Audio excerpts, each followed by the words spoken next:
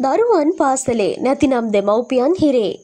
COVID දහනමය වසංගතය හමුවේ සෞඛ්‍ය නිර්දේශවලට අනුකූලව සියලු පාසල් ආරම්භ කර ඇති බවත් දරුවන් පාසල් යැවීමට අධිමති කරන දෙමව්පියන්ට වසර දෙකක සිරදඩුවමක් සහ දඩයක් නියම කිරීමට පියවර ගන්නා බවත් ග්‍රීක රජය පවසා තිබෙනවා. ග්‍රීක රජය මෙසේ පැවසුවේ පාසල් ආරම්භ කළත් පාසල්වලට පැමිණෙන දරුදැනියන් ගණන ඉතාමත් අඩු බැවින්. පාසල් බොහෝමයක දකින්න ලැබෙන්නේ ගුරුවරුන් පමණක් යයිද ග්‍රීක මාධ්‍ය වාර්තා කර තිබේ.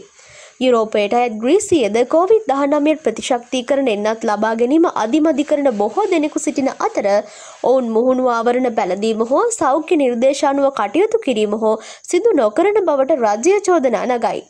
අවුරුදු දාසයක් දක්වා සියලුම දරුවන් අසනීප තත්ත්වයක් පෙන්නුම් නොකරන්නේ නම් පාසල් එවිය යුතු බවත් එය මාපියන්ගේ වගකීම බවත් එසේ නොකරන්නේ නම් දෙවසරක සිර දඩුවමක් සහ යුරෝ පනස් නවයක දඩමුදලක් අයකර ගැනීමට පියවර ගන්නා බවත් ග්‍රීක රජය නිකුත් කළ නිවේදනයක දැක්වෙයි.